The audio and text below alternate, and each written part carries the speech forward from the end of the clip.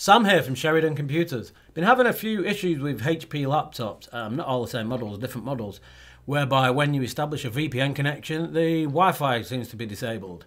Um, we've had this issue a few times. You seem to have chased it down to the software installed on the laptop, which is down to uh, LAN and wireless LAN switching. The idea behind it is if you uh, plug a wired connection in, the Wi-Fi gets disabled for power saving purposes for some reason, um, when you connect to VPN, it also disables the Wi-Fi.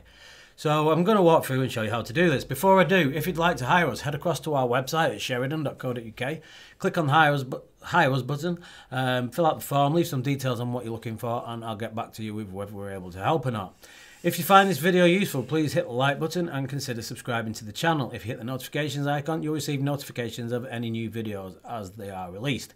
So we've been having this issue a bit, and I hope uh, this video helps anybody else that has been having the same issues.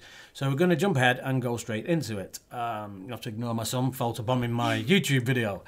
Uh, let's head across, I'll go through it now.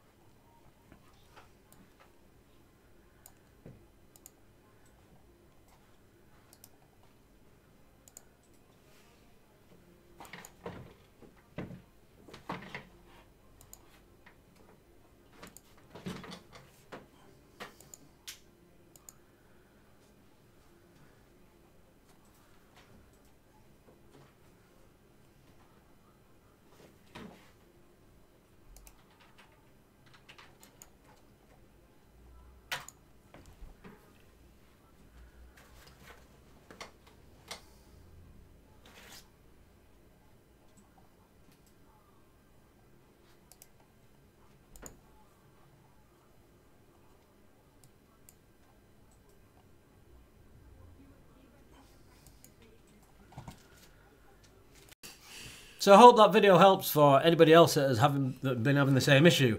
I believe another way to resolve it is to uh, go into the BIOS and you can disable uh, LAN and WAN switching in the BIOS. Uh, in this particular instance, I didn't have access, physical access to the machine, so I couldn't try it. Uh, if you did find this video useful, please hit the like button and consider subscribing to the channel. Hit the notifications icon and you'll receive notifications of any new videos as they are released.